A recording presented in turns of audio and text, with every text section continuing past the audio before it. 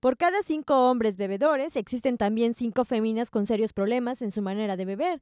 Al menos en la capital oaxaqueña, 258 mujeres pertenecen al grupo de alcohólicos anónimos. Tales cifras consideran han sido consecuencia de la liberación femenil. Así lo señalaron integrantes de la agrupación de AA. Oaxaca Centro eh, contamos con 258 mujeres alcohólicas anónimas que ya se declararon. Desde luego que nosotros eh, damos mucha información masiva en, diversas instituciones donde hay mujeres. Eh, tenemos también en el penal de Tanibet eh, información hacia, de alcohólicos hacia las mujeres.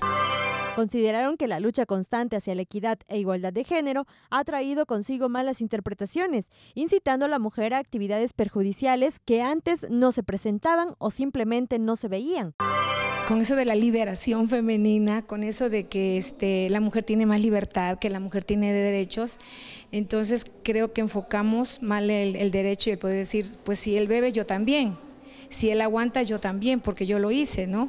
Entonces tenemos esa libertad, entonces eh, el hecho de tener esa, esa libertad de decir, em, ya estoy cansada del trabajo en casa, no me comprenden, no me entienden, este, bueno, voy a darme un relax, ¿no? Informaron que es notoria la manera en la que han incrementado los índices de mujeres inmersas en esta problemática, en donde incluso niñas de 11 años ya son bebedoras y tienen serios problemas para dejar de consumir sustancias tóxicas.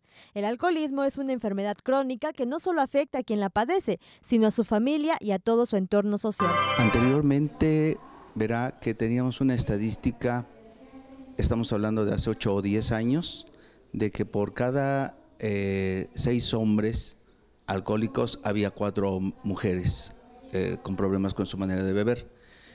Ahora, eh, con los tiempos, como ha cambiado, casi estamos a la par, 5-5. ¿sí? O sea que la tendencia de problemas con la bebida en las mujeres está aumentando muy alarmantemente. sabíamos que la edad promedio de contacto con el alcohol era de 16 años.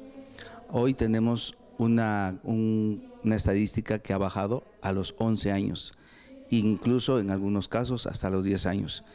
En nuestro grupo de alcohólicos anónimos tenemos incluso gente, personitas que tienen serios problemas con su manera de beber, adicción al alcohol franca.